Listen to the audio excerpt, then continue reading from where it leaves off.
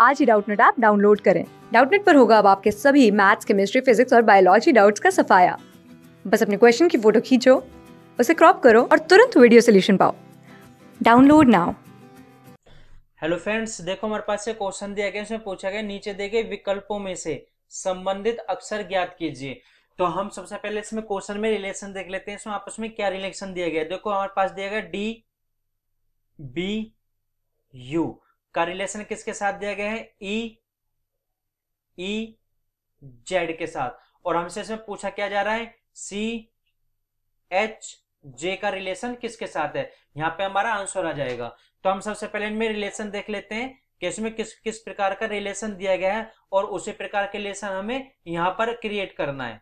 ठीक है? अब देखो इसमें बी हम यहाँ पे देखते हैं बी और डी में। कितने अक्षर का गैप है? सॉरी डी और बी में केवल एक अक्षर का गैप दिया गया यानी एक अक्षर।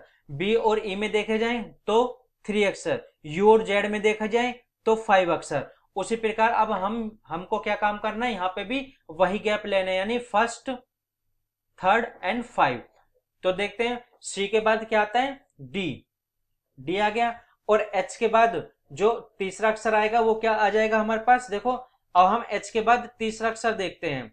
ठीक है? तो हमने एच के बाद देखा। देखो फ्रेंड इसको थोड़ा करेक्शन कर लेना। एच हमारा नीचे है और एम हमारा जे हमारा ऊपर दिया गया। यानी यहाँ पे जे आएगा और यहाँ पे एच आएगा।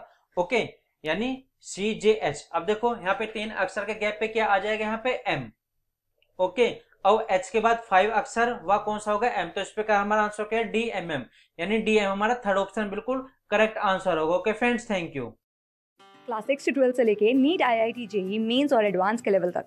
दस मिलियन से ज़्यादा स्टूडेंट्स का भरोसा। आज ही डाउनलोड करें डाउट नेट आप या व्हाट्सअप कीजिए अपने डाउट्स आठ चार सौ चार सौ चार सौ पर।